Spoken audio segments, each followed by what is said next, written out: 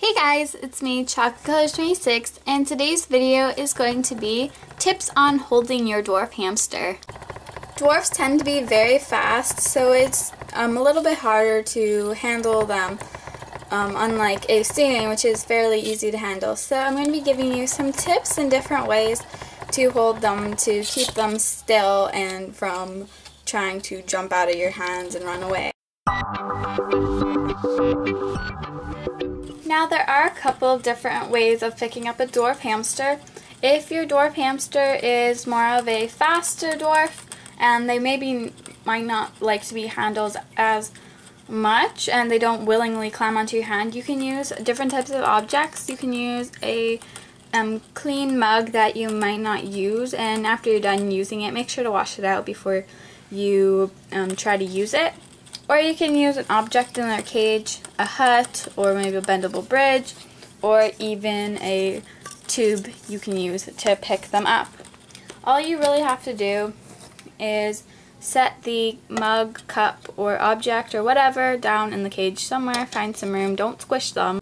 And then when you're done um, holding them in the cup, you can just set the cup down and let them jump out of there.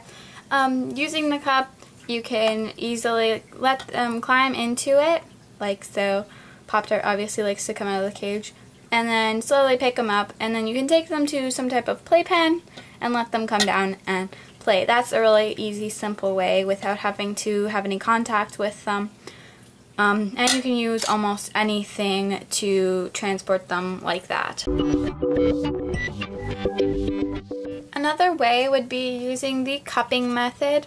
Um, this is for maybe a dwarf that's more tame. So I like to get Pop-Tart up onto this bendable bridge and then I just simply put my hand down and he climbs right onto my hand and then I can lift him up.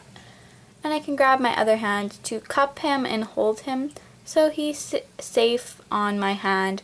So he can't try to jump away if you have your hands nicely cupped because it's protecting them.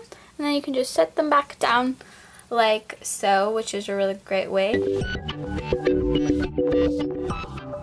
So the last method is very, very easy and simple, and this is for maybe a dwarf that likes to explore more so around. They don't like to sit still like this. Put them on your hands like so, and then let them walk across your hands if they want to. And this just gives them a chance to explore.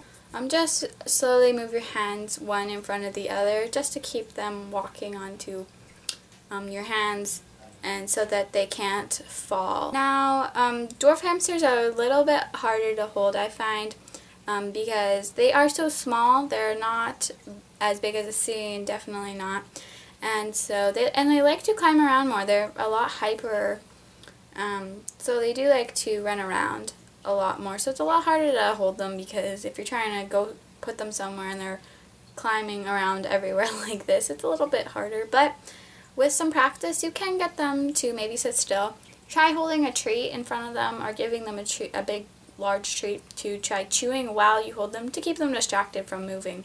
I really like the cupping method because this is great to get them used to being carried around and going places in the movement so that um, once you've gotten them to get used to getting into the cup, you can then try with your hand.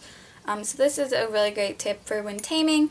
And when you say you want to do bathtub bonding or you want to try taming them and you want to do it in the bathtub, make sure there's no water obviously, then you can use the, a cup or something to transport them into there. And then you can practice um, cupping them and holding them, getting them used to your hands. Um, that way they'll slowly calm down and be a lot easier to hold.